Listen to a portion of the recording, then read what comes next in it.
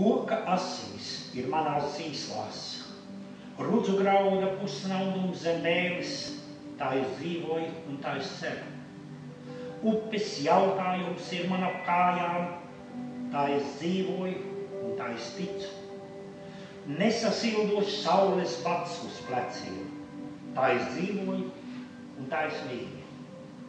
Tā es dzīvoju un tu tā dzīvo.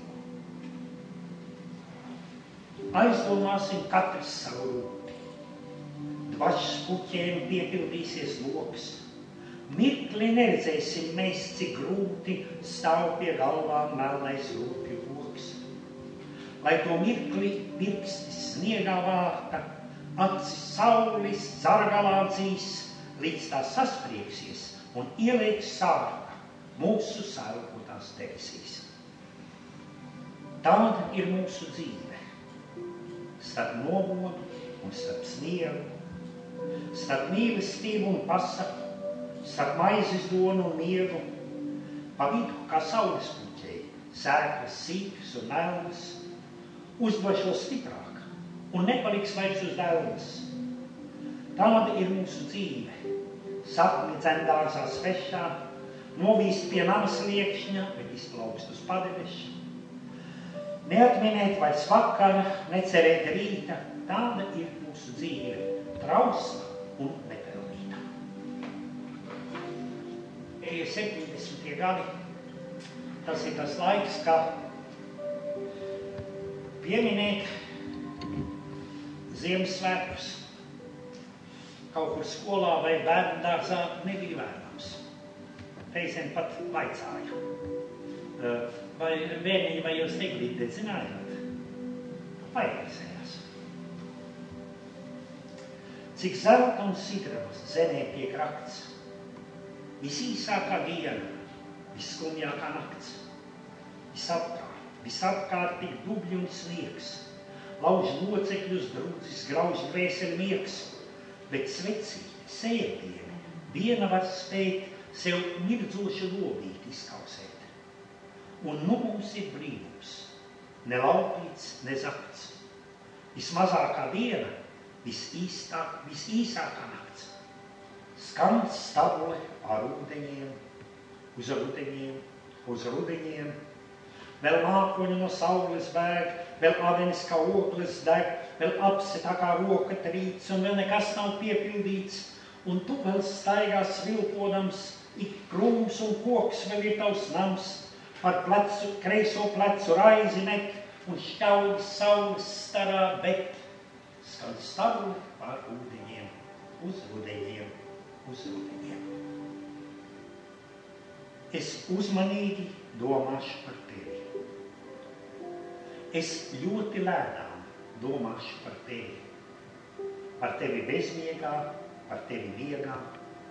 Es ļoti klusu domāšu par tevi es ļoti, ļoti domāšu par tevi, jo tas ir vienīgais, kas man var pieder.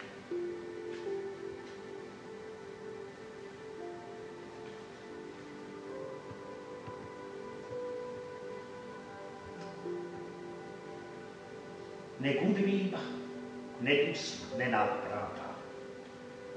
Tik tīra debesis, tā kā izrauga un bailes nenospiež, un nesūst kalnus, un uznāk mēnesis nepazīts un jauns, un zvaigznes zaļganās un ogļu zilgās, pat karstā kāri ar ko klusās ilgās.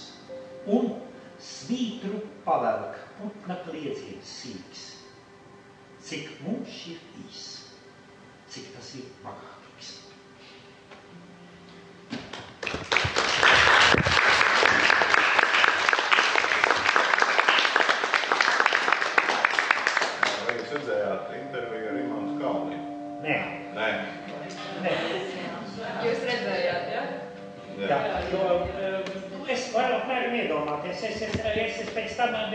bagātīgs. klausījos atsaucis uz to, vai ne ar kaut kādu sindru, bet es, es, es redzēju atsevišķi viņa, viņa izteicienus, vai ne?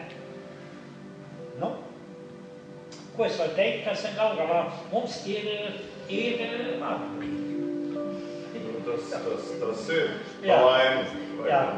Nu, tā tas ir, vai ne? Ja cilvēks, eh, paliek tā tikai, tas man varbūt eh, nedaudz izpildīmē. Jo vispirmām kārtām Imants ir, ir tomēr kādu laiku strēķi pa man jaunāks, vai ne? Bet tas uzskats, tādi uzskati, kas šur un tur ir parādījušies, arī, arī neatkarīgi no šīs intervijas, vai ne? Bet es saprotu, ka intervija varēja būt acīm redzot, laikam, tā- šādā garā katrā ziņā strīdoties. Bet tas varētu būt tomēr cilvēkam daudz, daudz vecākos gados. Cilvēkam, kas, eh, kas, kas eh, tomēr ir visu lielāko mūža daļu, ir, ir patiešām ir nodzīvojis šajā padomju režīmā. Un varbūt daudz maz, kā saka, arī uh, ir izdevies iekārtoties. Tagad tas lielā mērā ir pazudis, vai ne? Un, uh, un cilvēks ir apjūts. Un tas, ka cilvēki šobrīd lielā mērā ir apjukuši, to mēs kaut vai redzējām ar, ar, ar nu, pat notikušajām vēlēšanām, vai ne? Ka cilvēkiem vienalga, kas saka, neatkarīgi mums ir, bet savā ādā mēs vienalga nejūtamies. Tā kā tā tas ir. Nu, nezinu, uz kuģis pēc man teikt, ir vienīgais, vai ne? Jā, eh, otra, otrs tā ir tā, ka zināmā mērā man liekas, tā no viņa puses varētu būt arī, zinām spītība. Tikai jautājums, kam viņš spīdēs, nezinu. Bet tā ir viņa darīšana. Es, ne, es, es tagad, es nezinu, es ārkārtīgi ilgi jau, es nezinu, nezinu cik gadus es neesmu vispār vai viņu, viņu vajag, vajag atticies. Varbūt tas ir saistīts ar informācijas tādu, kurā cil- cilvēks dzīvo. Es domāju, ka nē. Es nedomāju, jo, jo galu galā viņi, es domāju, ka tas ir kaut kāds, eh, tas ir kaut kāds uzskatu jautājums. Mhm.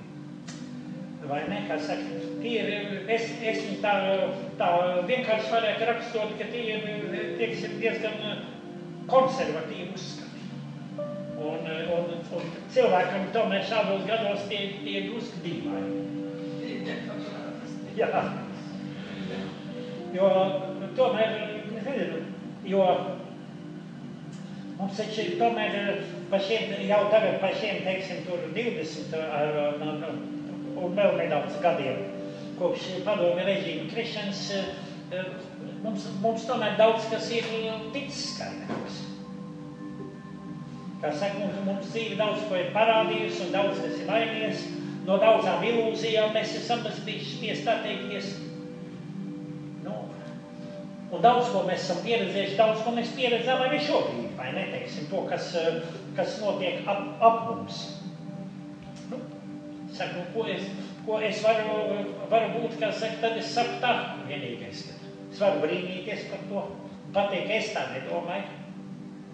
Bet tā pašā laikā es gribu citēt tos vārdus no Bībeles netiesājiet, lai jūs te tiesā. Jo katram, jādod katram, cilvēk, katram cilvēkam tiesības, lai viņš runā. Ar vienu noteikumu, lai tas ne, neaizskar un kaut kādā veidā nekaitē tieši otram fiziski un arī garīgi otram cilvēkam. Vai ne? Bet vai to var zināt, kaitē? ka- Eh, Es domāju, ka jā. Priekš tam ir, priekš, priekš tam ir krimināla kodeks un, jā, un, un, un, un, un, un vispār likumdošana. Nu. Jā. Tā ir ļoti nopietna lieta. Pret to, pret to vajag, iz, vajag izturēties nopietnāk, jo tas ir, eh, tas ir tas moments, kas eh, noskaidro tādā, tādā, tādā striktā veidā vispārējās cilvēku attiecības. Nu, nekā, kā saka, nu, nav, nav vērums viņu pārkāpt nekādā veidā. Kā jūs domājat, vai politiķa darbs ir viegls? Prasiet man kaut ko vieglāk, jo, jo es, es teicu, ka es neesmu politiķis. Un es nezinu, cik tas ir, ir viegls vai grūts. Jo, eh, jo es no šādiem piedāvājumiem atteicos jau no sākuma gala, vai ne? Un, eh, un, un dabīgi arī. Uh, nu, es nezinu, ko varētu teikt. Ir, ja, ir, eh, ir tāds skaists uh, krievu teiciens, bet nu, to jau es teiktu, ka jūs varbūt vēl uh, uzpaudze atcerās, ka, ka man uzdot šo jautājumu, vai varbūt nambīgi zabote. Vai ne? Tas ir tāds, jā, lai no priekš, kam man viņu rūpes, patiešām. Tā kā tā jau ir darīšana. Kā jūs domājat, vai var ticēt tam, ko cilvēki raksta un televīzijā? Nu, redziet, tas atkarīgs no tā cilvēka, kurš to skatās vai lasa. Tas, tas, tas, tas ticības jautājums ir, ir ļoti sarežģīts un ļoti strīdens. Tas ir arī katram cilvēkam. Ir cilvēki, kas ir varbūt pārlieku labticīgi, Ir cilvēki, kas ir pārlieku aizdomīgi, kas ir gudrā tad, kad kurā sīkumā saskat kaut kādu sadarbību vai ne. Lieta ir tāda, e, galu galā priekš tam cilvēkam ir katram dota galva, lai to, ko viņš dzird, vai to, ko viņš redz, vai to, ko viņš lasa, e, e, lai viņš ir šādu informāciju pārcelētu pats savas smadzenes. Jo Tas būtu tas labākais, kas vai, būtu vajadzīgs. Bet, nu, diemžēl cilvēkiem ir vienai daļai tāda vājība, ka lēkcība. Jo, teiksim, padomu laikā nekādas ticības, tādā nozīmē, kā reliģijas, eh, nebija oficiāli atbalstīts, atskaitot divas. Tā bija lēkcība un mārticība. Tagad, protams, arī viņas ne tikai tiek atbalstītas, viņas zeļ un augstu sabiedrībā. Es domāju, ka nevienu jautājumu, nevienu problēmu nevar atrisināt tādā vienkāršā veidā. Ka tas prasa tomēr līdzdomāšanu. Kad, kad cilvēkam ir, ir jānovērtē tas, ko, ko viņš zina, ko viņš dara, jānovērtē tāpat ir cilvēki, cik tie ir, cik tie ir viņu uzticības vērti. Ne, lai, lai, lai, lai uz viņiem paļautos, lai viņiem sekotu. Bet tā tas ir vienmēr bijis. Tas nav tikai, tas nav tikai mūsu laikos. Tas vienmēr. Bet tas ir grūti. Grūti, grūti ir, ir, ir grūti tā paļauties uz savu domāšanu. Bet, nu, katram gadījumam jācenšas no tam cilvēkam dzīvošana nepaliek uh, vieglāka. Ja viņš visu izdomā un izsver pats, bet viņa paliek skaidrāka. Vieglāka nevar būt pat grūtāka. Es vai vērtētībai būtu jābūt televīzijas ekrānos, jo bieži tiek moralizēts vai vērtētība sabiedrībā un tās ierobežošana. Tā ir televīzijas ekrāna. Tā nav mana. Jo lieta ir tāda, es eh, neskatos šāds pārraides. Bet uh, tas jau veido sabiedrību. Jo, jo man, man, man tas nav vajadzīgs. Es, eh, es saprotu, ka ir, ir, ir varbūt viena sabiedrības daļa, kad, kam tas ir vajadzīgs. Varbūt. Kāpēc to vajag prasīt tiem, cilvēkiem, kurus skatās? Man tā nav problēma. Katrā ziņā, protams, labāk, manuprāt, labāk būtu, ka mums nebūtu ne dzīvē, ne televīzijā. Bet, acīm redzot, tā, kam, tas, tas ir tāds ideāls, varētu būt, kas dzīvē nepiepildās.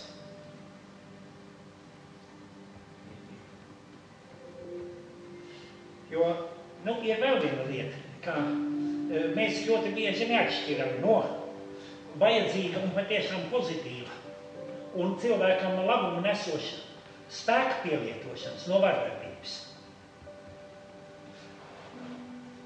Viņas pat ārēji var izskatīties līdzīgas. Bet te ir jautājums, vai ne, e, vardarbība nekad e, nevienam cilvēkam pat, pat nav, kāda cita cilvēka labā nav, nav domāta. Bet kādreiz, kādreiz ir nepieciešams, teiksim, nu, pat es teikšu, cilvēku savaldīšanai ir vajadzīgs spēks. Ir, ir, ir viena tāda, ir, ir tāda zināma terapija, ka, piemēram, cilvēkam, uh, uh, ja, uh, kurš ir kristēnijas liekam, ir jādod pa muti. Tā nav vārdarbība.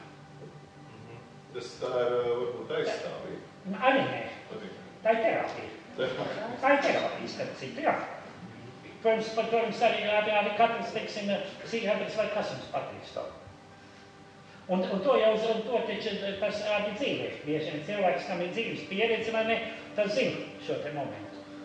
Ka tādā veidā vienkārši cilvēkam ar šādu, nu, nav jau tur, tur jau naiz, nav jau jāizdauž zobi. Bet pietiek, bet, bet, bet pietiek, ja iesīstiem kārtīgi plikt pa vaigu. Un cilvēks attiecas. Nu, bet, es saku, bet redziet, tā nav, bet redziet, tur ir starpība starp vārdarbību un Bet bērnam, piemēram, pērienu drīkst, nezinu, Nu, es, par, par kaut es, es nezinu, es nezinu, man diezgan grūti pateikt. Pats, protams, es esmu dabūjis. Pie tam, pie tam, Jūs pat, bērni, pie tam, un pat, ja- pat, un jūs pat, bērni. Jāsaka tā, ka es esmu faktiski aplaust pušārs, kad dēlam pa divam. Vienreiz, bet tikai ar vienreiz. Jo viņš, viņš man saka, nu, arī bija skaidri redzams, vai ne, kad eh, viņš speciāli izaicina. Un tagad redzēt, cik tālu, cik tālu viņš var iet. Kā saka, sarun- sarunās ar vecākiem. Nu, tad eh, vispirms es teicu, kā saka, jā, uh, uh, jā, uh, es vispirms uh, no, uh, nolasīju nelielu ievadu. Es pateicu, ka, kad, kad izrādot pretimnākšanu darba ļaužu jā, vēlmēm, un, un, un tā bija. To tā viņš, apjūta. Tā kā varbūt, varbūt tā kā taisies, taisies čiksti, bet nē. Bet pēc tam nebija vairs nebija vajadzības. Bet vai vai vairāk es neesmu, jo katrā ziņā, uh, nu, ir jāmēģina, ir jāmēģina uh, vispirmām kārtām, uh, bet diemžēl tas laikam arī diezgan grūti. Uh, censties pieaugušam cilvēkam nenovest situācijā ar bērnu tik tālu, kad, kad, kad, kad, kad, kad viņš būtu dab, viņš dabūtu kāpienu. Bet tas nav tik vienkārši. Bet, protams, pēc iespējas labāk, ja, ja tas netiek darīts, jo, jo tas tā bieži vien tā ir tiešām Redzēt, tur, kur varbūt to kāvienu drīzāk būtu pelnījis tur tēvs vai māte, vairāk par to bērnu, vai ne? Jo es saku, ka, tas, ka tie vecāki jau, bērns, tas vecāks ir noviens šajā tik izmērījā, vai ne? Tā kā ir vērts būt. Bet katrā ziņā, es domāju, ka, es domāju, ka vajadzīgs, vajadzīgs tomēr, nu, cik, cik iespējams normāls attiecības ar bērniem. Kā jums šķiet lielos vilcienos, vai latviešu tauta ir izglītota labi? Nu, es izlasīju vienu tādu, vienu tādu skaistu aptauju. Un, laikam bija apmēram 30% no aptaujātajiem bija svēti pārliecināti, ka saule griežās ap zemi. Šodienas. Tā, tā kā redziet, kā ir ar to izglītošanu. Un tie taču ir cilvēki, kas vismaz pamatskolu, es domāju, ka ir beiguši. Varbūt, varbūt viens otrs ir beidzis ar vidusskolu. Bet lieta ir tāda, ka šobrīd ir, šobrīd ir tik tālu pavairījusies visi neiedomājamākās manticības. Paskatieties, kas ir, kas ir kādi sludinājumi. Tad tur ir lāstu noņemšana, vai ne? Tad ir lāstu uzlikšana, vai ne? Tad tur ir piebūšana un tā tālāk. Viss šitas visāda veida zavēšanas un tā tālāk, vai ne? Es, tā reizē padomāju, kur mēs dzīvojam un galvā, kur tie cilvēki ir auguši. Jo uh, ir tā, ka tagad cilvēki beidz vidusskolu, viņš neprot, uh, viņš neprot rakstīt. Kad cilvēkam jāiestājas ir augstskolā, tās viņam liels problēmas ir. Un arī pēc tam vēl turpinot, vai ne, teiksim, jo viņam skola nav iemācījusi šo te. Tās ir acīm redzot, uh, nu, tomēr uh, mūsu, mūsu izglītības sistēmas vājīgi tomēr. Vai varbūt tomēr vecāki? Viss kopā. Viss kopā. Jo lieta ir tāda, ka šobrīd taču liela daļa vecāku vispār ne, ne, nenodarbojas ar savu bērnu audzināšanu. Jā. Šai ziņā es varu tikai, tikai noskatīties, es saku, ka mani mazbērni jau aug tiešām laimīgos apstākļos. Jo vecāki, kuri arī aizņemti, tā bija divi darbos. Viņi tomēr atrod, laiku, kur, kur ar viņiem noņemties, kur strādāt, kur kontrolēt, kur palīdzēt viņiem taisīt mājas darbus. Vai, teiksim, jaunākais no mazdēliem iet muzikas skolā. Mums gan nav nekādu mūziku, īpaši muzikantu nav mūsu ģimenē, tāda, ka tā, teiksim, izglītot. Bet vienalga, teiksim, tēvs, tēvs sēž ar viņu vai ne, un tēvam tas sapnis nepildījās, respektīvi dēlam manam tas sapnis nepiepildījās. Viņš it kā sāk sāk mūzikas skolā, bet nu, tā viņš pameta. Bet viņam vismaz tik daudz, lai viņš var kaut ko iemācīt un ierādīt, mazliet viņš sēž ar viņu. Strādā. Un arī tāpat palīdz pat ne tikai skolas, bet es skatos, palīdz arī gatavoties kaut kādām olimpiādēm matemātikas. Tā kā es saku, bet te, te es ļoti daudz apkārt redzu, tomēr neviens, ko saka, liec man mierā, nav laika vai ne, un vispār vai nekas redz tikai kaut kad vēlā vakar stundā. Nu, ir, ir, protams, problēmas. Cilvēkiem ir, ir iztikas problēmas, vai ne? Viņiem ir viņiem kaut kādā veidā jānodrošina kaut kāds, nu, kaut kāds materiāls pamats, vismaz, lai cilvēki ir apģērbti un bāruši, lai viņiem ir jumts virs galvas, lai viņiem ir, ir pienācīgi apkuri. Nu, Ir jau atkal cilvēki, kuriem ir, kuri grib vairāk, kuriem vēl bez šī te ir vajadzīgs prestižs. Nu, tad tur ir problēma. Kas ir ka reizēm, kas ir svarīgāk? Vai sabiedriskais prestižs, vai sabiedriskais stāvoklis, vai paši bērni? Tur jau ir, tur jau jāsāk domāt, vai neteiksim, bet, nu, cik cilvēki tik likteni? Nu, ko es varu teikt? Skujniekums, kā jūs domājat, kā mūsdienās jūtās skolotājs skolā, ienākot klasē? sākot no pirmklasītes un aizejot līdz vidusskolai un līdz augstskolai. Kā tas skolotājs jūtās šodien? Es eh, nezinu, es neesmu jau labu laiku bijis, teiksim, tādā veidā. Es varētu teikt, es neesmu hospitalizēts stundu, vai ne? Bet katrā ziņā es no viss tā, ko es redzu, ko es dzirdu un tā tālāk, es, eh, eh, ka viņš jūtās diezgan šausmīgi. Redziet, tad, nu, tad atkal jāsaka tā, ka mēs augām tad tā negāja, vai ne, kā vienmēr, vai ne? Un, un cilvēki, ka tā ir laikā, taču, tad, tas, tad, kad man nācās skoloties, teiksim, kaut kā jau vispār sāktiet skolā, tad tas skolas bija mazs, trūcīgs, nabadzīgs, ļoti trūcīgi un arī, kā saka, arī, arī varbūt izglītības ziņā bija arī nabadzīgi tie skolotāji. Vai neteiksim, jo tas ir uzreiz, tas taču ir vēl, vēl sākot kaut kur vācu laikā, tad pēc tam pir, pirmie pēckara gadi un tā tālāk viss šitas te, bet tajā laikā, lai cik trūcīgi un lai cik uh, bija arī viss tā skološana, uh, no mājiniekiem nekad nedzirdēju nekādus pārmetumus attiecībā par skolotāju. Pat arī, kad ja skolotājs nebūtu, nebija ne, ne īpaši gudrs, ne, ne īpaši tā, uh, pret šo profesiju bija respekts. Un to, to, arī, to arī vecāki vienmēr atgādināja arī bērniem. Nu, bet, ziniet, ja to apspriež tagad, mājās, mājās, mājās bērnu klātbūtni apspriež tagad arī, kā saka, tur viss, kā saka, skola, ne tikai klases, bet arī skolas, visas pedagoģiskās problēmas un tā tālāk. Es nezinu, es domāju, tas nav īsti pareizi, jo tādas lietas tādā gadījumā ir jāpārunā tomēr vec, vecākiem, kur divi tā un, un, un, un klusāk. Nu, vispār jau tā ir problēma, jo ir jau, ir jau skolas, kur skolotājs ir jāizsargā policija. Es runāju vispirmām kārtām par vidusskolu. Nu, otrs ir, kad ir zinām, zināms problēmas ar, ar, arī pat pamatskolā. Ka, teiksim, ar šiem te uh, uh, pilnīgi nevaldāmajiem un, un tā ir vai ne, tad ir jautājums, uh, ko viņi iesāk. Kur bija, bija arī pat tas, kur faktiski jau,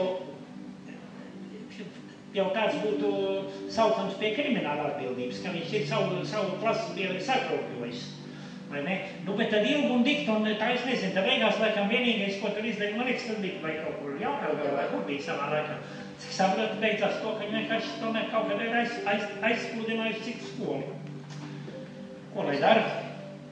Un lai darītu, es saku, vispār tā ir, tā ir ne tikai skolas krīze, tā ir ģimenes krīze, tā ir vispār cilvēka attiecību krīze, jo acīm redzot mums, mēs sākam dzīvot uz kaut kādiem citiem pamatiem. Nu, es nezinu, es teikšu godīgi, es personīgi, es, es šajās attiecībās jūtos ļoti nelabīgi. Es esmu vecmodīgs cilvēks. Es esmu lielākoties dzīvoju galu galā man tagad ir arī tomēr jau ir 78 gadi, es vairāk piederu tai pasaulē, kura jau ir aizgājusi vai varbūt vēl kaut kur drusku palikusi. Vai ne? Tā kā, tāpēc es saku, man ļoti daudz kas no tā, kas ir ļoti aktīvs un, un, un, un šobrīd aktuāls un varbūt par ko cilvēks sajūsminās, man tas ir, labākā gadījumā man tas ir ietilcīgs. Un vienā otrā citā gadījumā man tas ir svešs. Ne, jo, jo es esmu dzīvu, dzīvojis, audzis un dzīvojis pēc kaut kādiem citiem principiem. Piemēram, es skatos, ka katru, katru gadu no, no, gads no gada ar vienu idiotēs kāds paliek reklāmas. Jo lieta ir tāda lielai daļai reklāmu tagad, vai ne, to, kas ir attēlots, vairs nav nekāda sakara. Un acīm redzot, laikam tas ir kaut kāds īpašs paņēmiens.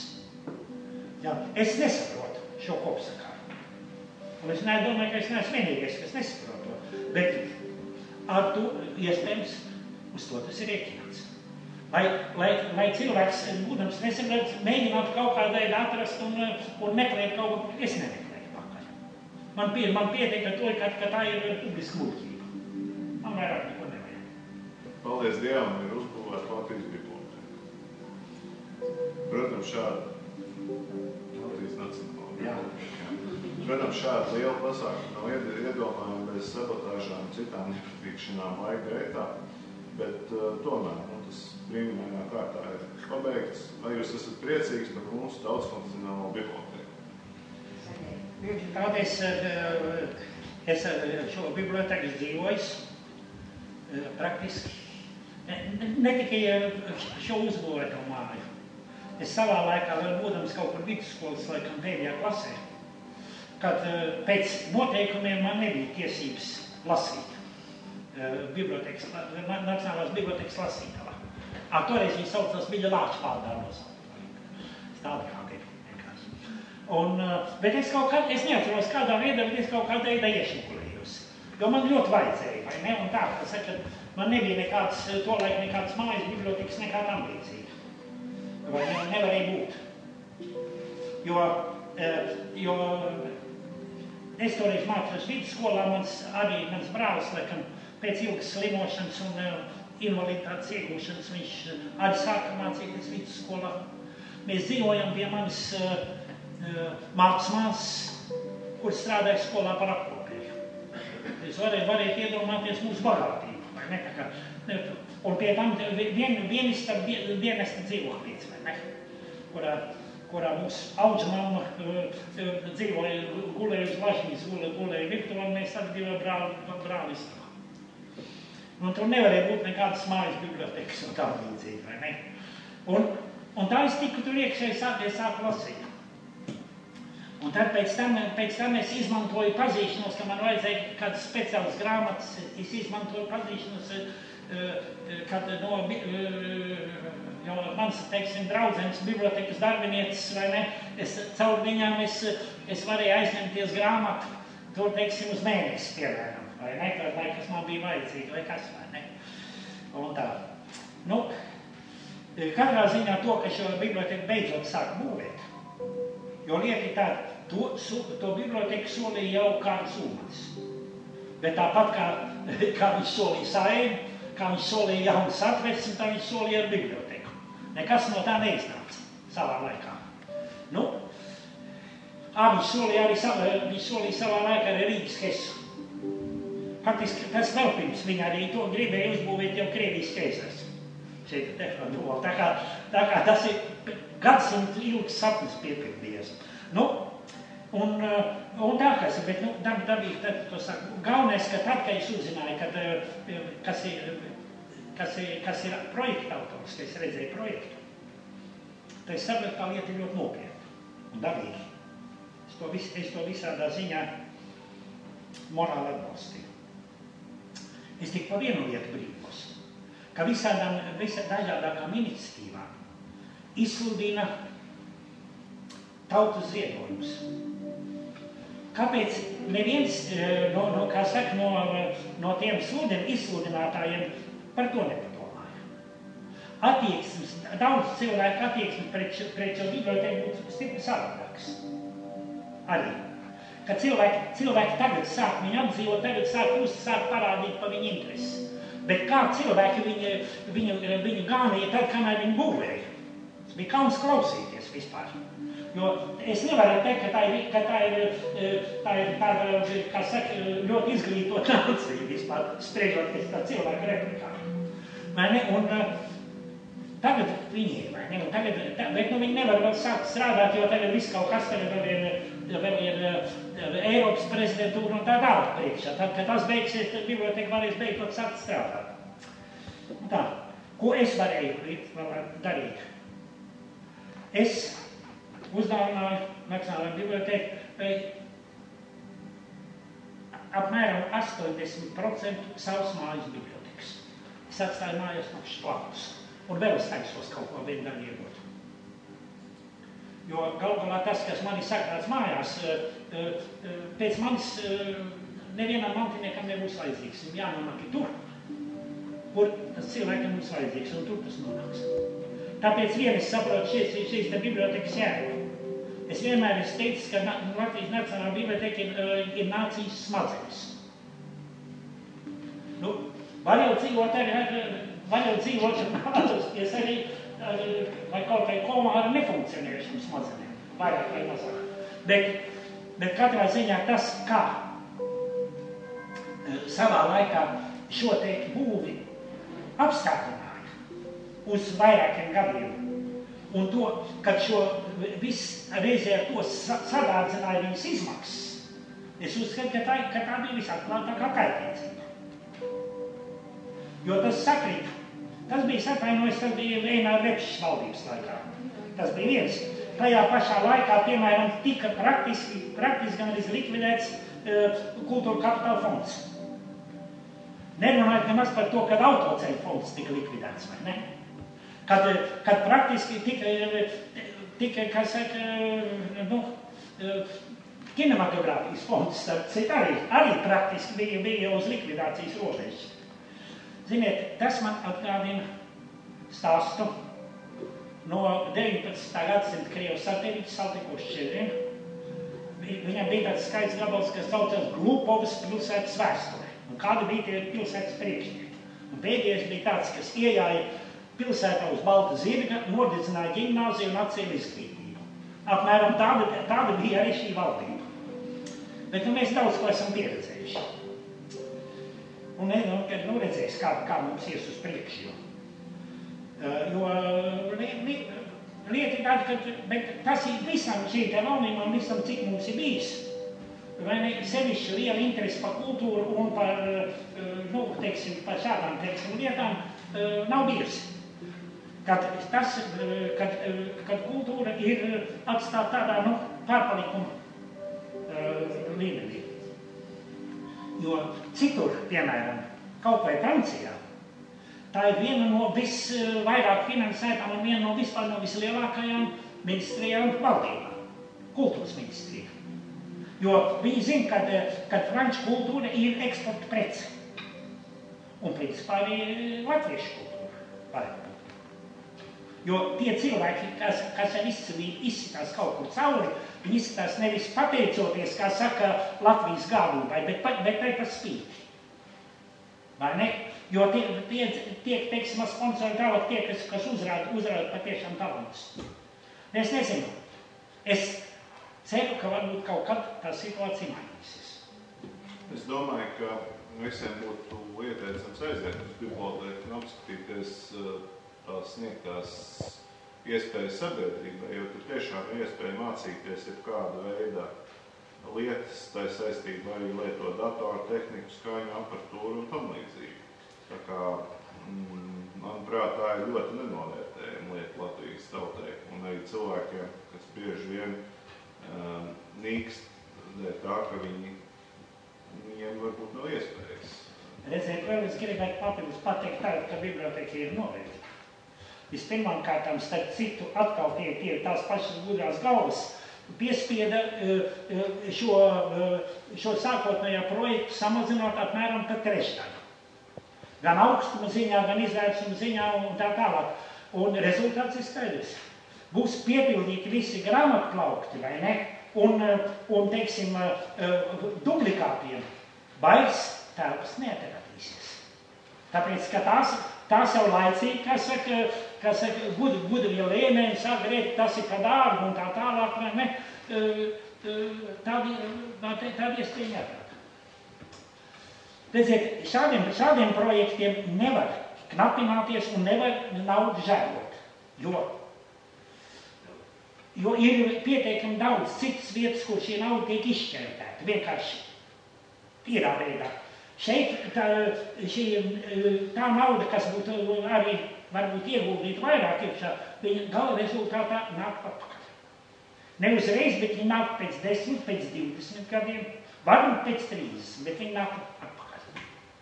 Kultūra ir ilgtermiņa ieguldījums. Un to pie mums, diemžēl, nesaprot. Vai jums patīk šīs būvas eksterjers? Jā. Jā. Tikai, nu, protams, tad, kad es redzēju to sākotnējo projektu, viņš, viņš bija izskatīgāks. Vai ne? Jo, jo viņš, viņš drusciņi pazaudējis proporcijas. Iemeslu dēļ. Nu, neko nevar darīt. Arhitektam nācās piekāpties. Un mēs aizmirstam vēl vienu lietu pieminēju šai sakarā, ka Birkets šo savu projektu uzdāvināja Latvijai. Viņš atteicās no savu autoru honorāru. Mēs, diemžēl, to es nedzirdētu, ka kaut kur, kaut kādos uh, mazas saziņas līdzekļos vai kur par to īpaši pieminētu. Es pašu arī pirmo reizi to dzirdu. Lūdzu. Tā ir, tā ir, tā ir, tā ir skaidra liecība, vai ne? Tāpēc es teiktu, ka ne, ka ne tikai ignorance, bet principā es teiktu, ka ir ļoti daudz ļaundarības bijis attiecībā pret bibliotēku.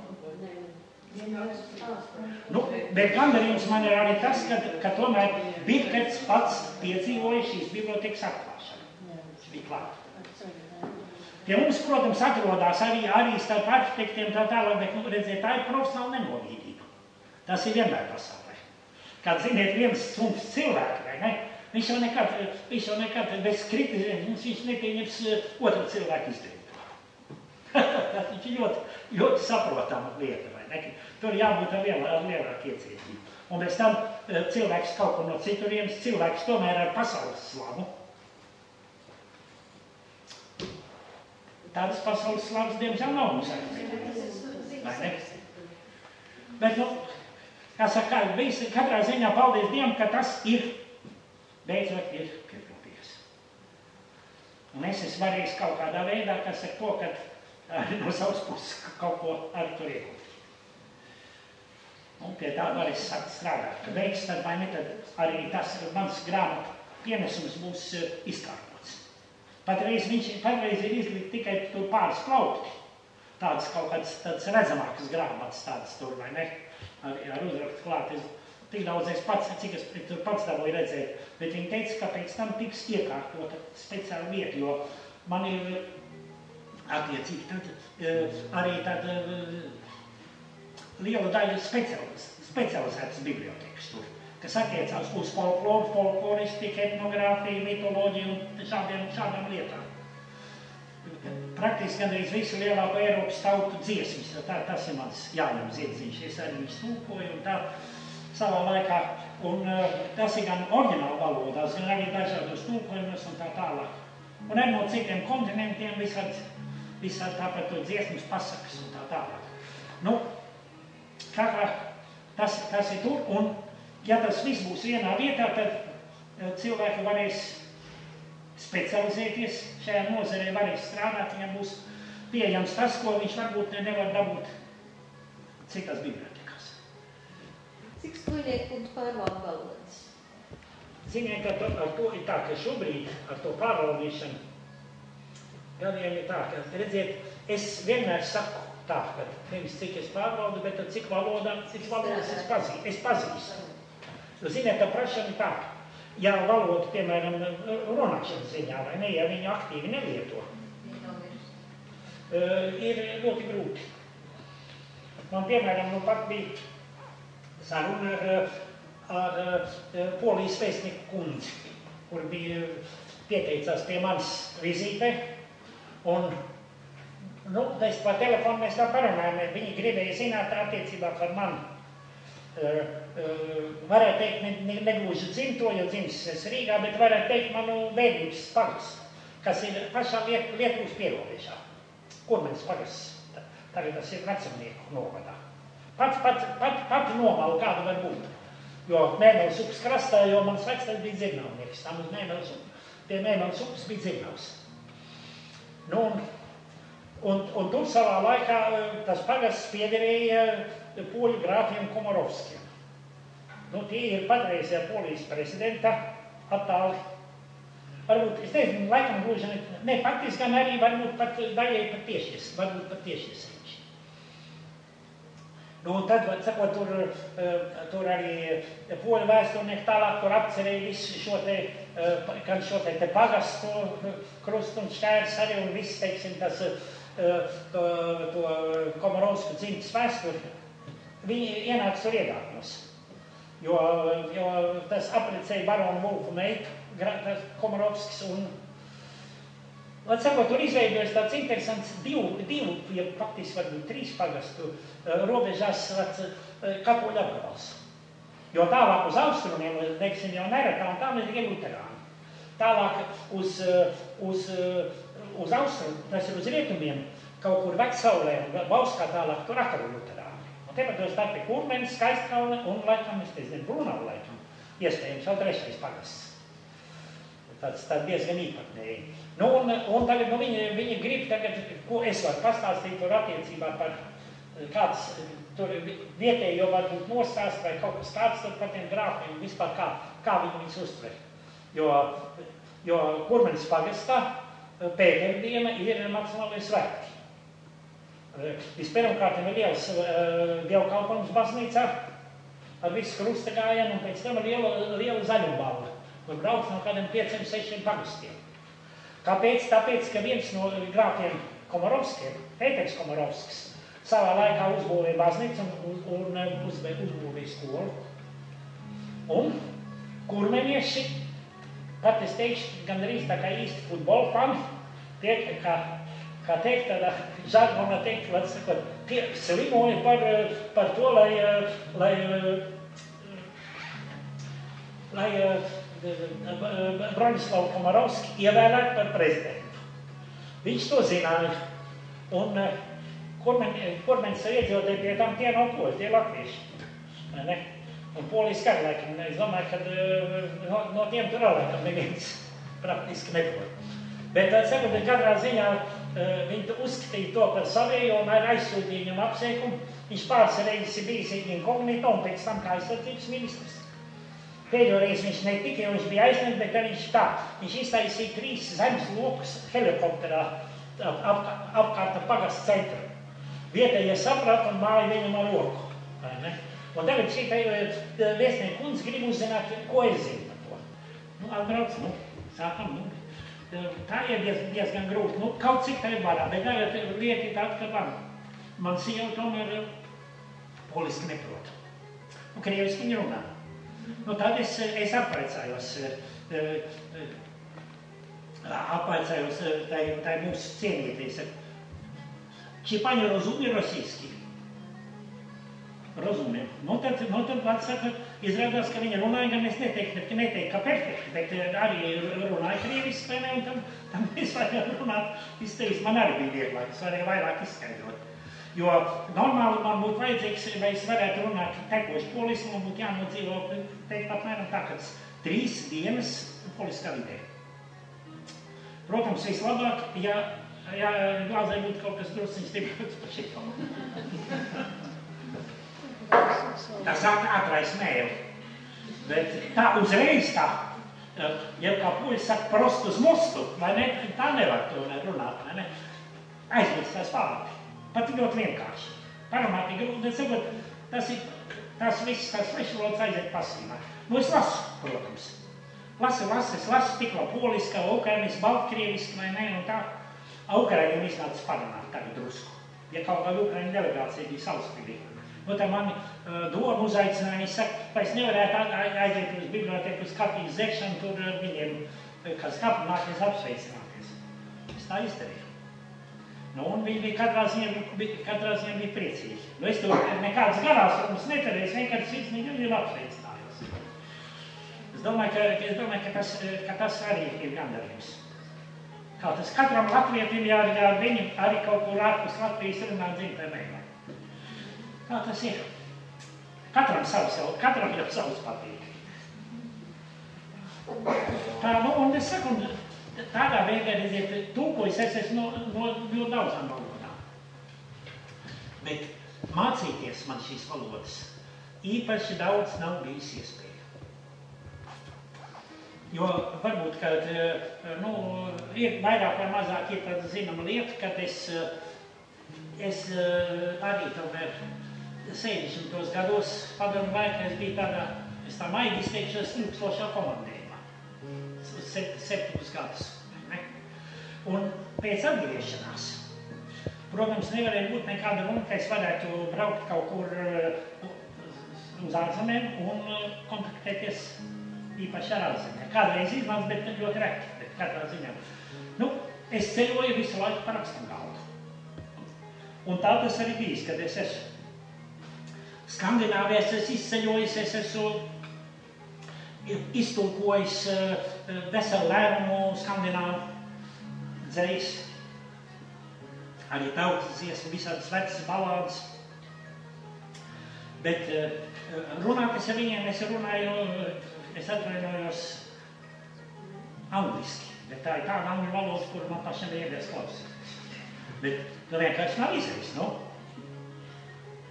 Un šodien es mēģināju, mēģināju lasīt skojnieku dzēju angliski. es teiktu, tas bija, te, tā bija tik smalki tūkot, ka man laikam tomēr, nu, vairāk no man šur būs jāņem vārdīts palīgā. Vai, vai kā kādās cit, citām mēlē. Tagad es vairs net, netulkoju no citām mēlēm, no, es, es, es lasu savus dzējos citās valodās. Tas diezgan interesanti vispār. Tas ir pilnīgi, tas nav šitas ancuks, man pilnīgi, pilnīgi cits ancuks katreiz tiek uzvelkts mugurā. Bet, nu, tas, bet tas ir interesanti. Varbūt vēl kāds jautājums? Varbūt vēl kāds dzējola. Labi. Labi, palasīsim dažu. Tikmēr es varu padomāt, vai ir vēl kāds jautājums, jo... Jo man ir tikai viens palicis. Tikai viens jautājums, jā? Labi, paskatīsimies. Nav ko slieties dižā stājā, nav ko lepnus vārdus dvest, jo tāpat nemaz nav viegli ikdienišķi galvenais. Neraudāt par to, kas bijis, nevīties par to, kas rīt, tikai saudzīgi un droši savu vagu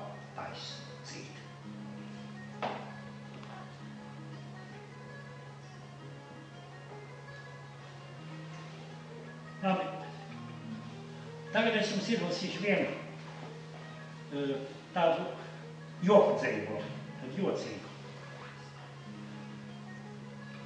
Viņš apkārt zvaigžņu slaišņās, midž mēneši zvērojot, degtās mīlas skaistās, es gatavs dzīvi dot.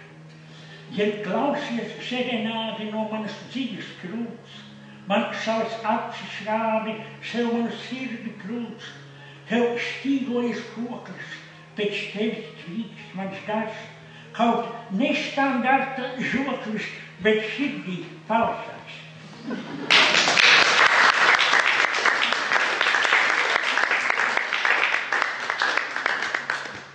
Tad es paskatīšos vēl vienu tādu.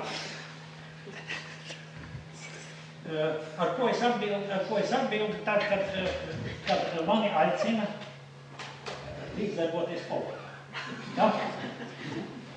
Es nedevu pie skolotājiem, pie garās stipriem, miesās vājiem, un ne pie džentlmeņiem, veciem ar stalpiem stīvinātiem pleciem.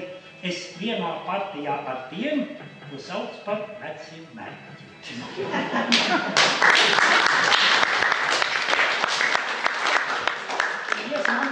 Es prasīju, kur var šajā partijā pieteikties. Es saku, tur, tur nav jāpiesaka smīkājums, tādam ir jābūt. Es paskatīšos vēl varbūt kāds dažas ejos.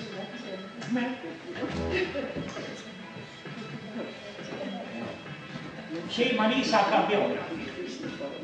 Spēlējos ar savu kāju pirkstiem. Spēlējos ar citu kāju pirkstiem. Tagad atkal spēlējos ar savu.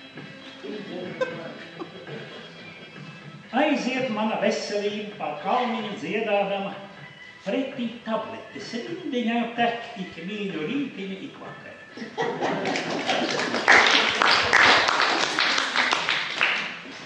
Redziet, tā, ka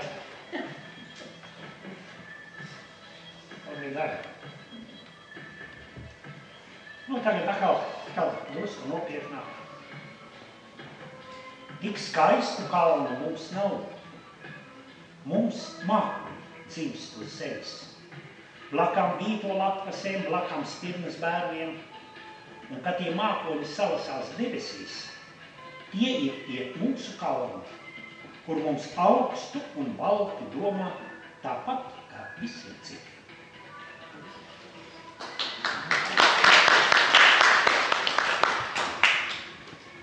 Un tad barikāžu laikā es nerakstīju neko.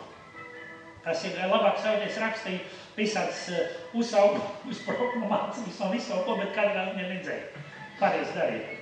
Un tad, jo tajā, tajā karstumā tādā, ka ar tik karstu dūlu galvu vēl neko nevar uzrakstīt labi.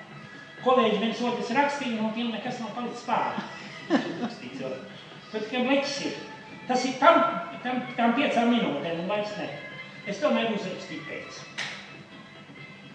Nāc, pasēdi pie ugunskura, par maizi mutē dziesma mums, un visus vienā mūrī tura mums svēts un negants izmisums.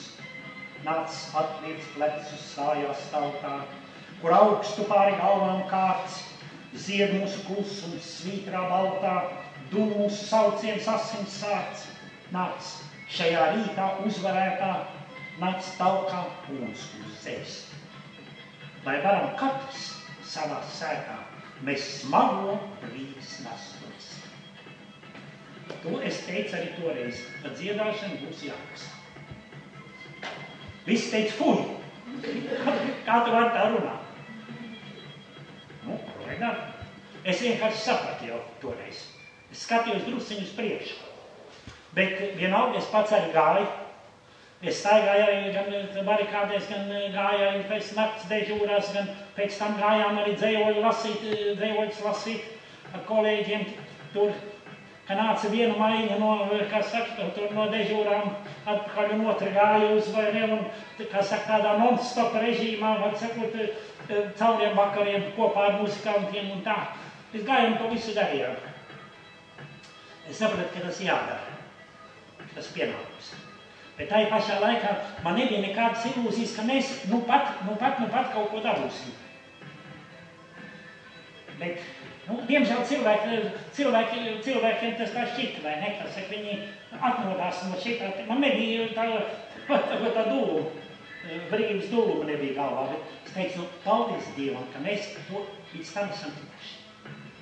Jo priekš manis arī šai dienai tas ir galvenais. Tas, kā mums iet ar saimniecību, kā mums iet tur ar visādiem tur, visādiem tur momentiem. Protams, Tas nav, ne, tas nav nekas, teiksim, priecīgs un tā tālāk, bet tas ir dabūjis pašu naudu. Man kā latvietim es esmu dabūjis pamatas nekādā. Kā es viņā dzīvoju un tālāk, tā, tas ir cits jautājums. Bet man viņš ir. Vai ne, es varu, es, es varu, es varu skatīties citiem, es varu skatīties pasaulē acīs. Es esmu te un es esmu, es esmu savā zemē. Un tad vēl viens šāds dzējos. Man ir valoda. Ar to es smējos un strīdos. Es tajā kā saulītē sildos, es tajā kā peļķī mīdos. Ar to uz mēles es ceļos, kā pasaku princis sēls. Ar to es cūku diveļos, kā zudušais dēls. To skūpstu kā dievmaizi, vai dusmās tur slauku kājas. Man ir mana valoda. Un es esmu.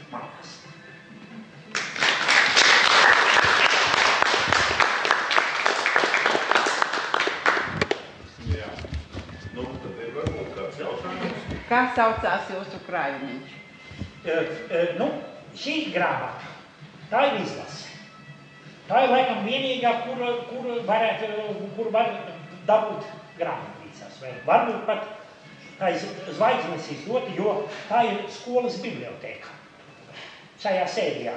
Tā kā viņi iespējams ir lielākā tirāžā, ka viņi tiešām domāta domāt ar skolu bibliotekām. To es redzēju, to es vēl varēju nopirkt. Neviena cita no savām grāmatām es nopirku, diemžēl pats nevar.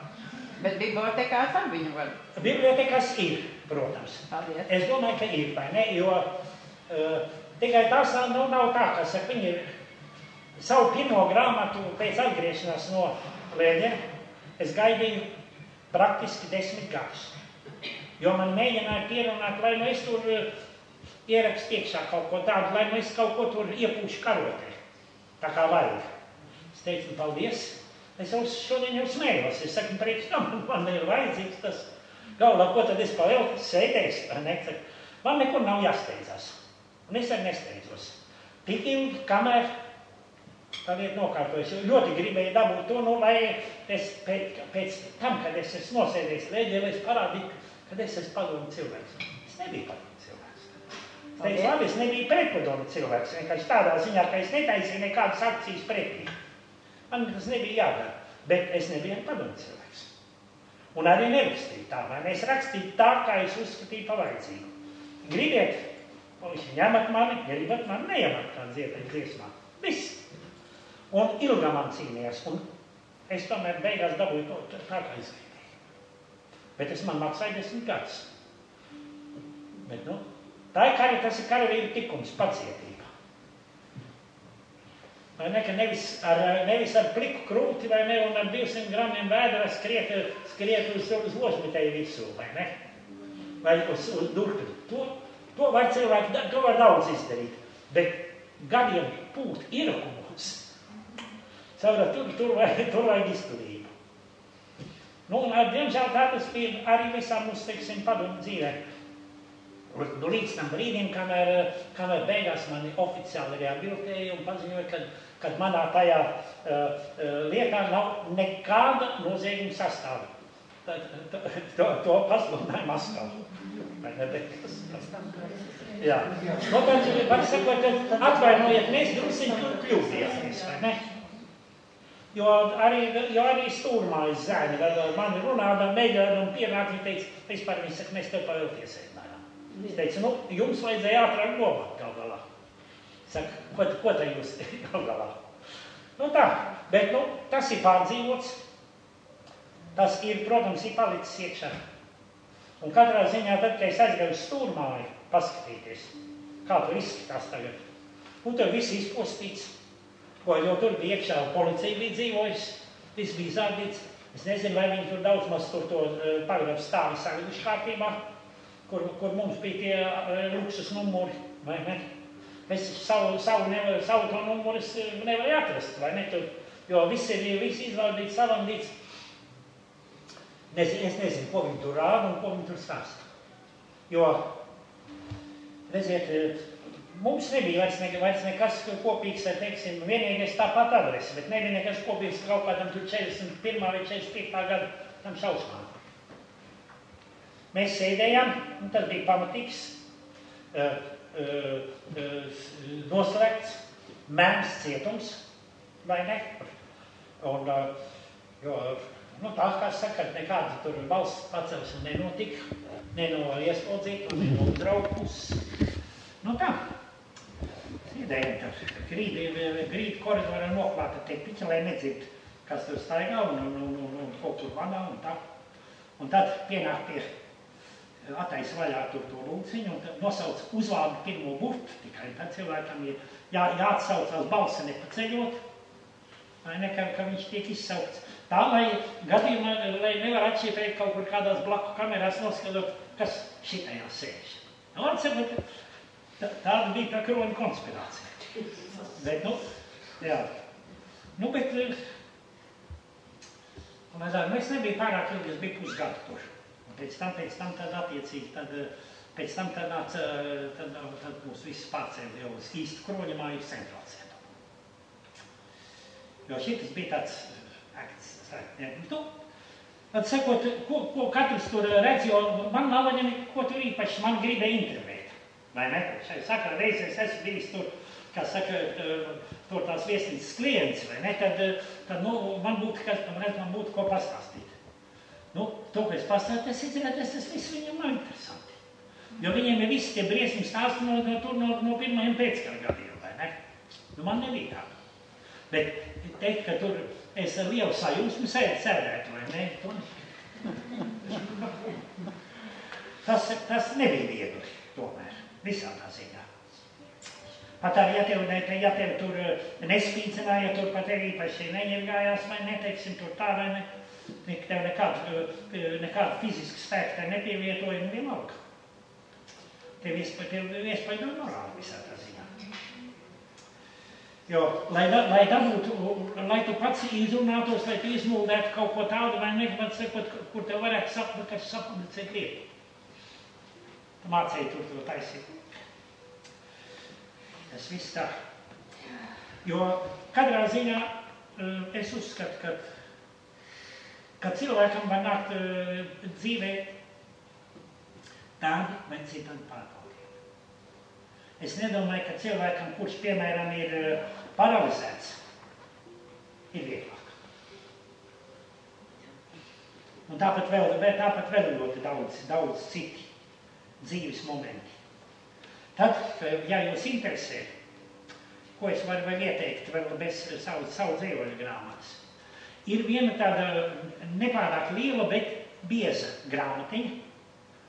Kaut kur varbūt arī bibliotekās būs. Viņa laikam nebija lielā tirāžā, bet tā. Ar visai dīvainu nosaukumu Kro, Kro. Un tas ir uh, manas un manas sievas vēdera laika vēstures.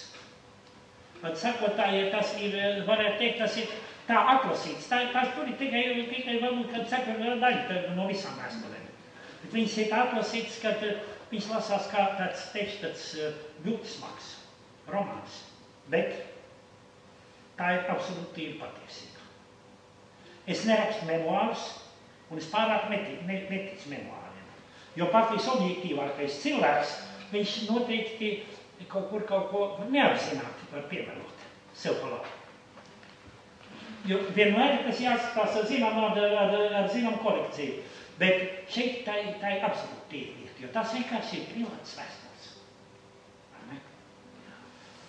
Un, un no 63. līdz 69. gadam. Tā kā, un kāpēc? Tāpēc, ka mēs viens otram dēlējam pa krokodīliem. Un tā mēs krokodīlu zīmējam, zīmējam apakšā tas bija parakstu vietā. Protams, nu, es savu krokodilu zīmēju vārdu, nu, un sievas, sievas krokodilu bija šlepītas. Tā kā, lai, lai tā var atšķirt. Nu, katrā ziņā mēs lasījām, tagad abi divi pārlasījām šo te grāmatu jau bez asarām acīs. Un mēs tā esam izdzīvojuši jau. Bet es zinu, ka ir cilvēki, kas lasa tomēr un slaukats. Jo, saprotiet, kad ne tikai tas, kā, kā mums bija grūti, kā man bija grūti, bet vēl vairāk tas, cik grūti bija manai sievai. Ka viņai bija sabojāta karjera sakarā. Vai ne viņai, viņai visu laiku bija jārūpēs, bija jādomā par to, kā organizēt man kaut kādas sūtījumus. Tad viņi varēja, varēja pie manis atbraukt reizi gadā. Nu, tas ir no, no, no Rīgas, tas ir apmēram kaut kas 1800 km. Tas ir 800 km aiz Maskavas. Pēc tam nevis, tā, nevis ļoti tālā Sibīrijā, bet gan vēl Eiropā. Šimpus uh, Uralkalni, Uralkalni, bet arī, arī šeit uz Volgai, vēl Mordovija.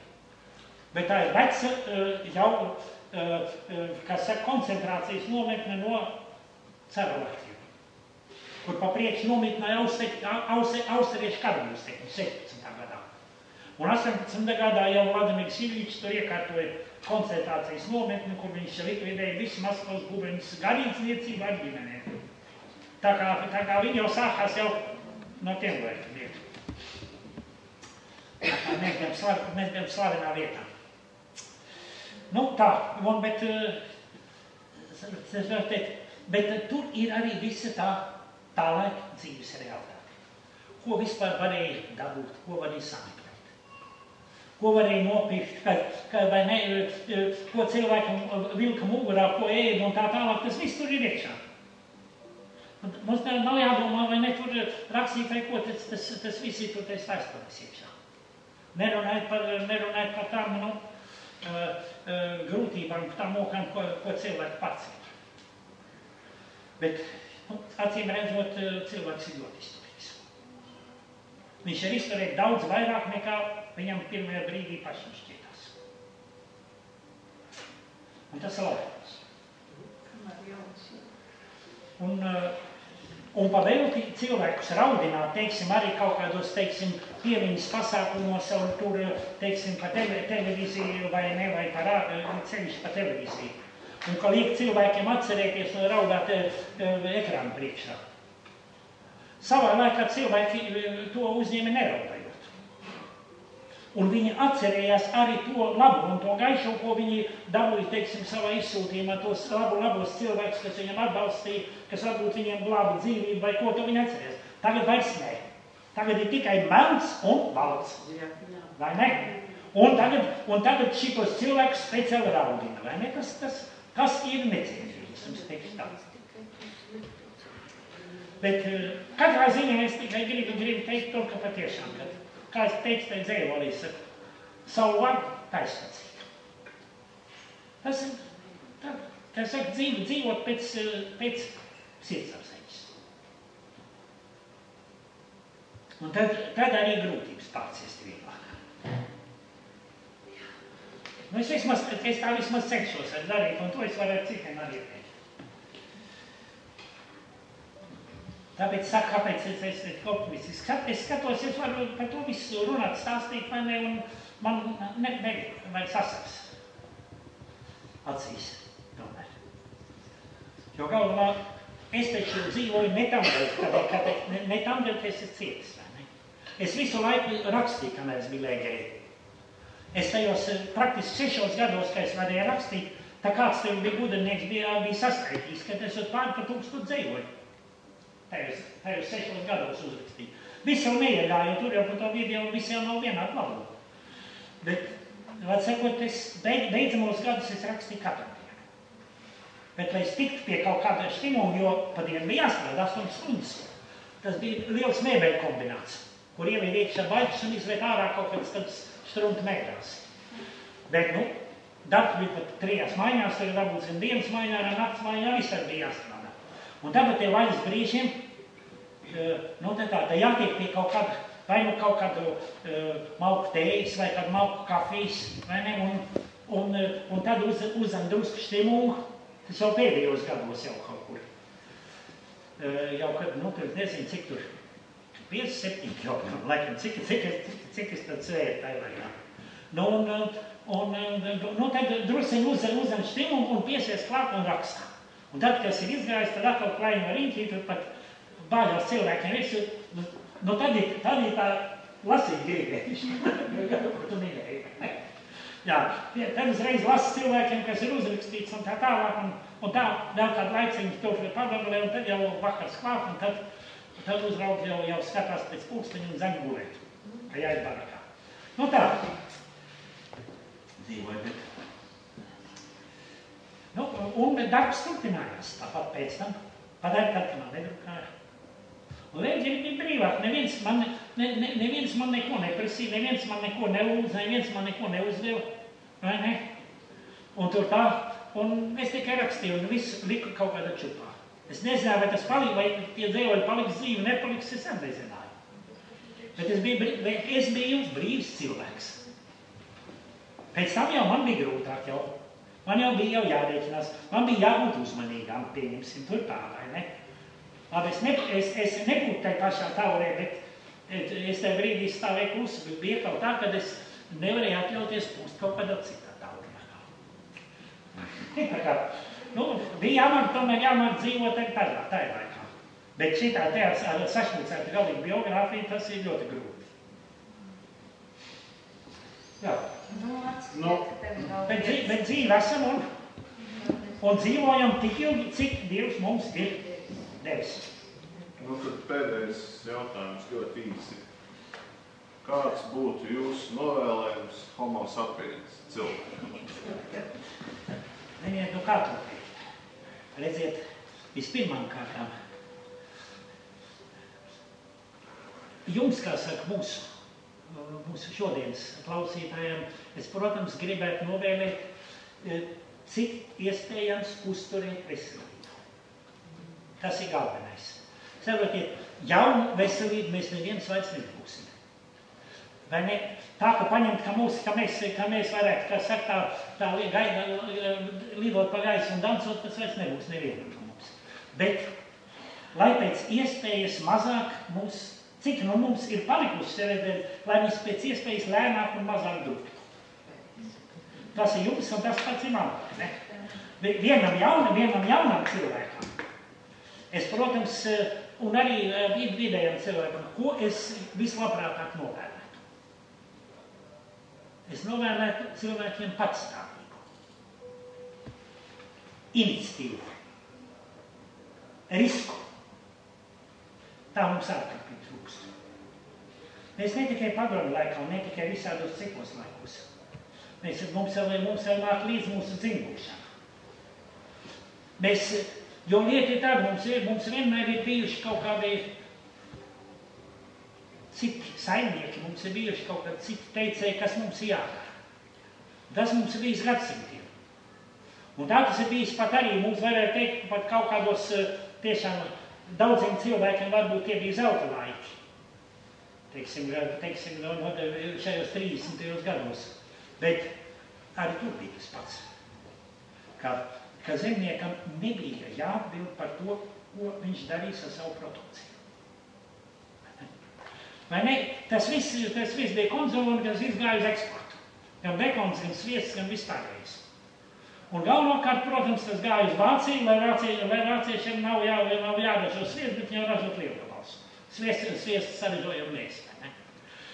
Par to mums nebija jārūpējas. Šobrīd tagad, tagad ir, ir lauksaimniekiem ir ļoti grūti, jo viņiem ir. Un viņiem ir jāzina, kas, kas notiek, not, notiek Eiropas, kas notiek pasaules tirdzniecībā, jo viņiem jāzina, kur vi- viņiem jāmeklē tas tirgus ir.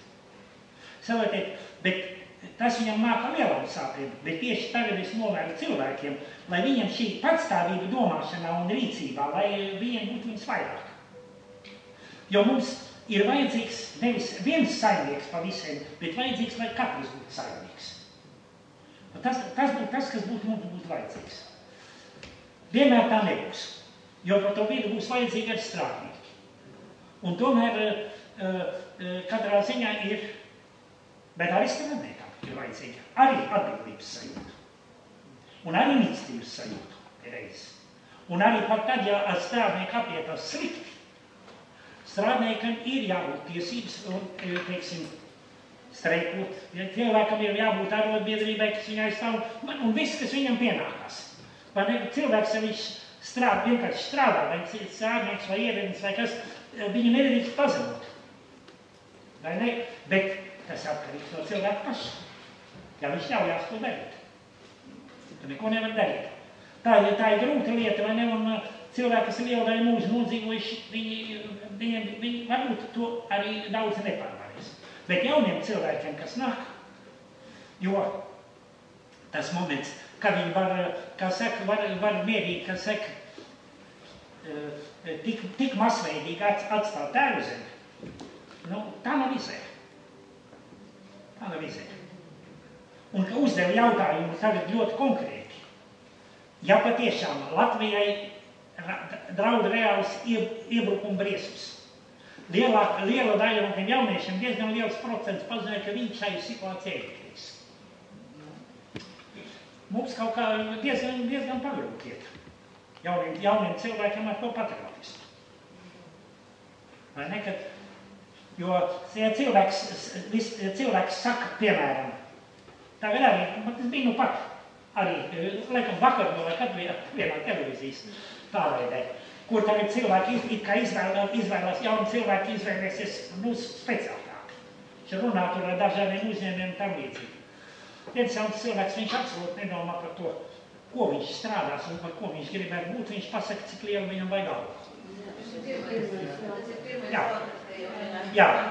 Jūs, jūs saprotiet, ka šis cilvēks, šis jaunais cilvēks ir morāli sagrindēts. Un ir jautājums, kas viņu var izlabot vai kas var viņu izārstēt. Saprotiet, tas cilvēks ir samanīts, ka viņš ir jauns pašams. Un kas ir vainīgs vispirmām kārtām jau vecāki. Jo, jo atvainojos, šāda nostāja tomēr pat vissliktākā skola nemāca. To, to māca tikai ģimene. Un attiecīgi draugi, tad at- draugus arī piemeklē un tā tālāk. Tam cilvēkam, cilvēkam nav sapņa dzīvē. Viņa vienīgais sapnis ir, ir, ir cik es teiktu. Jā. Nu jā. Nē, redziet, nē, redziet, nē, no pašas apakšas. Atvainojiet, to, to bildi vajag skatīties otrādi. Galu galā, kas ir tā augša? Tā augša ir tāpat apakša. No turienes, saprotiet? Nevajag mēs nevajag meklēt kaut kur citur, vai nu vajag meklēt sevi to priekšu. Un tad, un saprotiet, tad mēs varam atbildīgi arī piestādīt pretensijas citiem un arī augstāk stāvošiem. Ja, ja, jūs, ja jūs esat pilnīgi, kā saka, uh, uh, ar, ar savu sirdsapziņu un ar, ar savu attieksmi pret dzīvi, ja jūs, ja jūs esat nonākuši skaidrībā. Jā. Ir vēl viena lieta, kad, kad es atvainojos cilvēki labi iet vēlēt, bet pēc tam jau viņi neko neprasa. No, es atvainojos no, no, no tiem saviem ievēlētajiem. Viņi viņus tikai labo. Saka, ir lielāko tiesu, vai ne? Jā, jo saprotiet, cilvēkiem vajag, cilvēkiem vajag domāt par to, kā viņi var spiest šiem saviem vēlētājiem uz aci. Neko no viņa nevar izspiest. Bet, bet, bet ir jautājums, vai jums esat darījis, pieņemsim. Mēs darām bērnam ģimenei mācām. Viņš iet sabiedrībā, skolā, bērndārzā, visu, un kuri pārējie tā. Un ja tas bērns nepakļaujas tiem pārējiem, tad viņš ir iegrūsts stūrī un saplēs gabalos. Nu, tad, nu, redziet, acīm redzot, nu, tad jādomā, vai, vai, Bet vai, arī vai savā tādā gadījumā ir, saprotiet, tad, tad ja, ja tas bērn, bērndārs ir tāds, vai ne, bērndārs ir dažādi. Ir dažādi, bet lielākā Jā, bet saprotiet, tad, tad ir viena lieta, kas ir, tad, lai, tad, lai vecāki izdomā, vai, vai, vai, vai laist tādā bērndārzā, vai Tas nav tik Nē, vienkārši. vai atteikties no karjeras. Tas nav vienkārši. Tas- Bet galu galā, ja, ja jūs karjeras dēļ upurējat savu bērnu, tad, tad ir jautājums, ne par to ir runa. bet, bet atvainojiet, ja jūs, at, ja jūs tiešām šitādā slepkavu varā laidiet savu Nu, bērnu, bet kur lai iet? laidiet, kur lai iet? Ne, ne, neiet strādāt, bet audziet bērnu mājās. Vismaz Labi, ko Jā, bet redziet, to kā dzīvot, vai ne? Nu, bet? Bet, saprotiet, bet galu galā, kas ir svarīgāk? Un Vai, vai darbs, ja bērns? Bet, ja Kas ir bērns bet tam bērns ir jābaro, viņš ir, viņam zāles Jā. sadod, viņam viss kas ir jāiet. Kā var izstrādāt? Un mātei arī jā. Māte arī jā, jā, gan Un tā Jau laikos vēlēsies Jā. strādāt. Mēs visi esam. Strādājām. Redziet. Un bērns man palika viens pats mājā. Nu, Es varu Redziet, Tā ir tā problēma. Bet, bet, redziet, bet tad ir vajag žēloties par bērnu. Ir tā, tā, tādā gadījumā, ja tā ir vienīgā izēja, tad tas ir jāapticēš. Bet jūs saprotat, ko viņš to, piemēram, es personīgi. Tik Jā. tā par sevi personīgi. Jā. Man mazmeita ir ļoti labā bērndārzā. Jā. Visas audzinātājs kolosāls bērns. Bet arī bērndārzā ir no dažādām ģimenēm Jā. bērni. Jā, Dažādi. Un ja tam bērnam ir iemācīts, es jums izstāstīju gadiem šeit pat, jūs gribat dzirdēt? Es neesmu ne kaprīs vecmāmiņa nekas. Es vedu bērnu uz dančiem te. jā. Mēs sēžam visu un tā tālāk, dežurants dežurē viss. Atnāk jaunas māmiņas, kuras pat neprot sasveicināties. Ne man ir vajadzīgs tās sveiciens, ne jums ir vajadzīgs nekas. Tam bērnam ir visur jautīgi. Otrs bērns skatās, ko viņš dara, ka viņš tur spoguli var ķēpāt un staigāt par krēsliem. Nu, bet Tā kādā sabiedrībā. Bet tā ko tad darīt? Ārpus skolas un pēc skolas ir labāk patreiz sabiedrībā. Nu, bet- Tas pats Nu, notiek par ko tad mēs runājām? Tā tad vai ne, un tātad, redziet, tā jau gada vai visvienkāršāk ir nodot vainu, vai ne? Mēs nenogaļām vainu Mēs nenogaļām vainu, bet kāda sabiedrība. Kā skolotājs ienāk skolā pasēņot piecajās augšā un pasaka, ko tu tur tarkšķi? Es aiziešu mājās, pateikšu vecākiem. Tas skolotājs ir iespējas sūdīt, par ko mēs runājām. Tāpēc, ka ir tikai tiesības. Viss atļautība bērnam ir tiesības, bet bet, pienākumu bet, nav. bet saprotiet, ka tā lieta, tā, tā, ir, tas ir vecāka dēļ. Nekāds muļķis vecām dēļ. Jā, Nu, bet tiek tā, no kurienes viņš to iemācās? Ā, Kā nu, tur runāt nav ar skolotāju. To- To viņš iemācās no no- no. No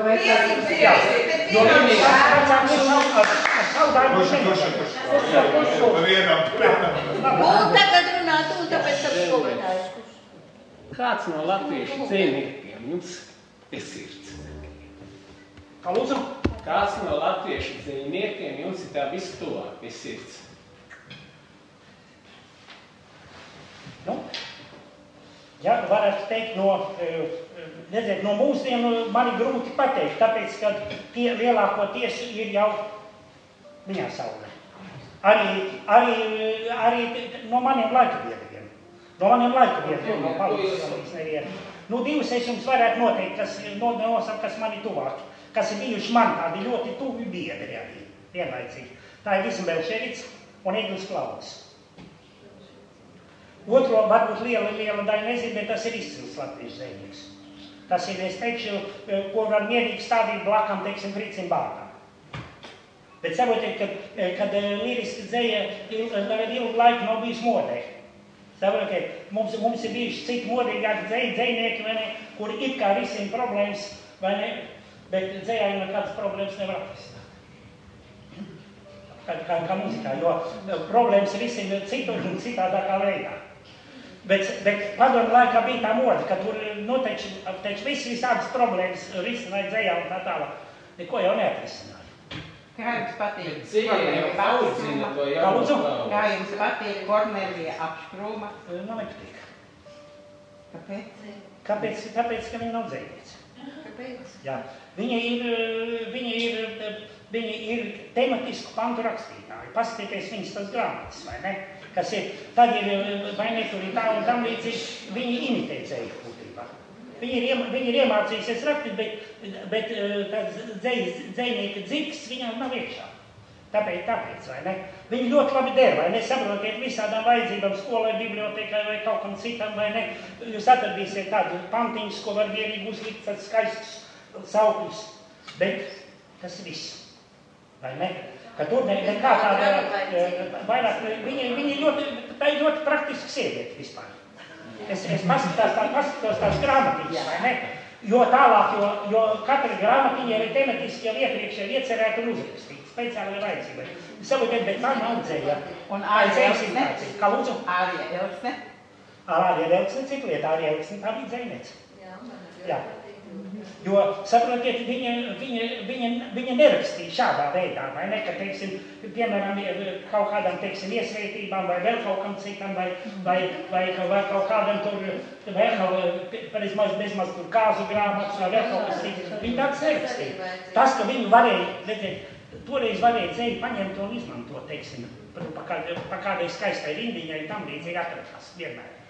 Bet, ja ja cilvēks sāk nodarboties ar to, ka šīs skaistās rindiņas liek tā kā pēdas virsū, vai ne, e, tādā vir- virtenē, lieki, kad, kad, kad dzējai vajadzīgs, e, tā varētu teikt, vairāk tad neaprieķinā momentu un tad dūlumu kaut kur.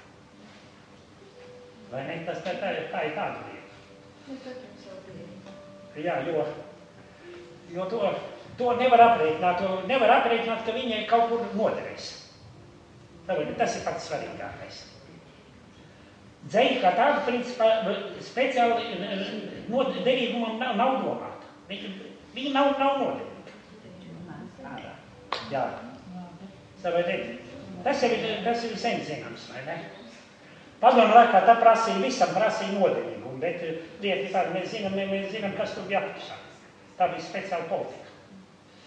Bet eh, tas vēl tādā veidā kropļoja, kā saka, mākslas jēga. Bet vēl ir tik Jā, nu, mēs kaut ko tā. Jā.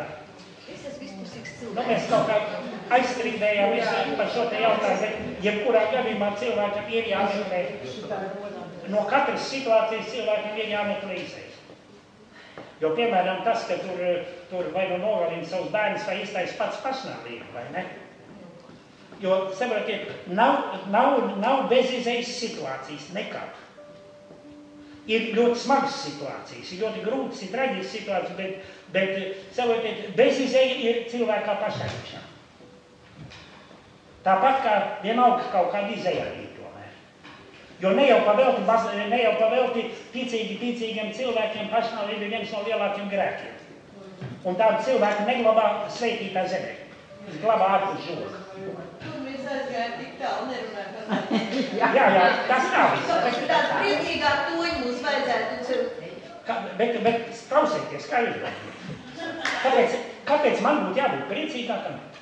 Jo, jo es atvainojos, vai ne, kad, kad, Klau, varbūt jā, bet, ne, bet saprotiet, vai ne? Es tāpat kā jūs, es esmu, es esmu jau ilgadīgs invalīds, vai ne? Jā, vai ne, un, un, un lieta ir tāda, vai es visu laiku dzīvoju tik, tikai uz zālēm, vai ne, un, un, un tā, vai ne? Tā kā es, es, es neesmu ne par, ne par kāpēc labākā veselības stāvoklī, kā, kā, kā, kā dažs nāks no jums, vai ne? Katram savs ir. Katram savs ir, vai ne? Bet katrā ziņā redziet, es gribēju teikt tā, es negribēju teikt neko jautas vispār, bet es gribēju teikt tikai to. Kad priekš dzīves ir vajadzīga izturība. Un izturība ir vajadzīga līdz ne, nu Jā. 100%. Jo tā ir, tā ir, tā ir cilvēka cienīga rīcība. Jā. Saprotiet? Un tas ir, un tas ir galvenais. Jo pat arī es saku, ka lieta ir tāda arī pat uh, nabadzībā. Nepazaudēt, uh, nepazaudēt savu, savu godu, savu lepnumu. Tomēr. Jo, jo mēs zinām, ka nabadzība nav kauns. Un mēs redzam, arī pasaulē cik daudz ir nabadzīgi cilvēki. Bet lieta ir tāda, bet viņi dzīves priecīgāk. par mums. Viņi dzīvo varbūt nabadzīgāk par mums.